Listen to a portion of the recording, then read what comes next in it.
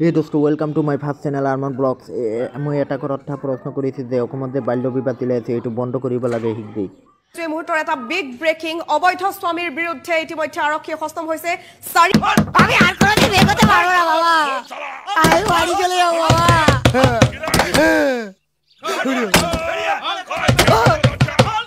ও বাবা ৰে আমি কোথাও যাব